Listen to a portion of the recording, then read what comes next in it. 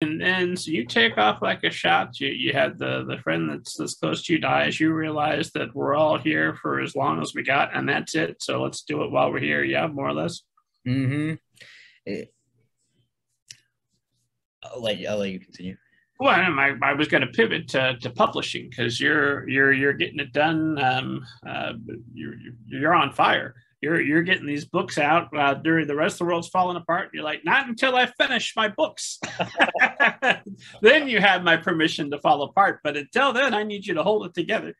Um, so uh, when it comes to, to publication, do you spend any time at all uh, looking at traditional publishing, or is it just straight to I know how I'm going to publish this. I want to publish it my way. So I do take uh, the time to like I do query agents and do all the traditional path, but I'm not gonna I'm not gonna wait on others to for my dream. You know, I'm gonna just get it out there and let the people decide. So how long did you try to play it straight before you decided, eh, I'm just gonna do it?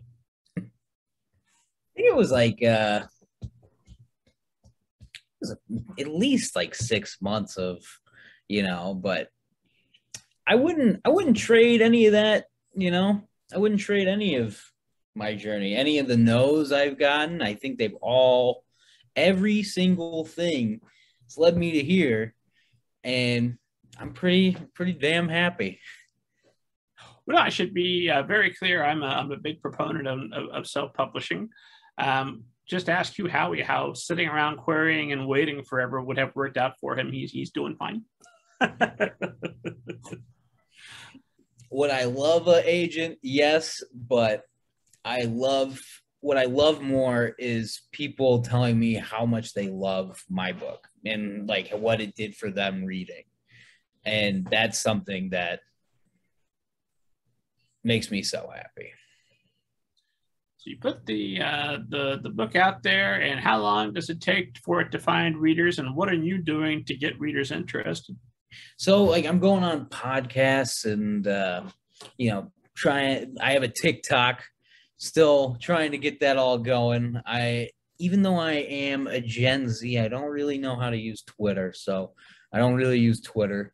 Um, but as far as like how long does it take to get readers? I'd say probably like it takes like a couple months for everything to like flow in, and then you know we uh, we have a positive uh, flow, so that's good.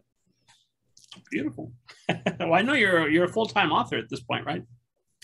Uh, yeah, I do. I full time author, and I also have a uh, a job as well. oh, okay, gotcha. So, um, and then um, oh, I had a burning question, and I uh, oh no. Nobody's passing this class. so um, you, you you're putting the books out. Um, you're hitting the road, uh, running. Where do you foresee yourself? Um, do you have like a like a timeline, like five years from now? I'll be here. I'll be accomplishing this. Here's my uh, vision board. Or is it? I don't know how long I'm going to be alive. Until then, I'm going to write, write, write. It's a little bit of both, you know. Um, it so I even though I have two series, I am in the makings of making a third one, and that's going to be a comic book. And so that's another whole a whole ordeal that I've that I'm putting myself through. But yeah, so I want to make a comic book, and that's going to be.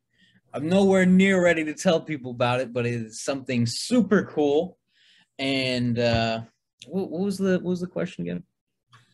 I don't remember. Who cares? This comic book. Um, are are you working with uh, with with artists to make this happen? Where are you at in the process? So I I'm in the drafting it, and then I'm gonna try. If you're a graphic designer listening to this, you can always uh, contact me.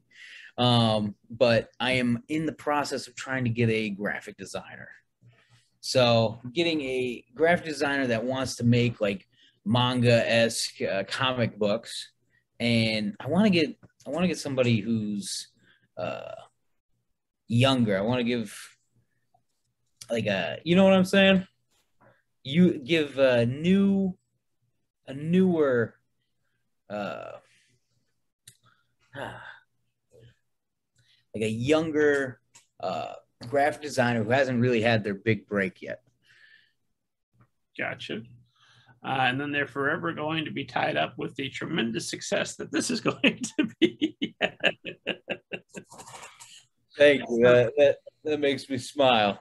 Was there something about this new idea? And obviously, you can't you can't say much at this stage, but did it present initially a, as a novel, or did the moment you looked at it, you said, "No, this has got to be a graphic novel"? When did you know that it had to be that was the type of storytelling for it?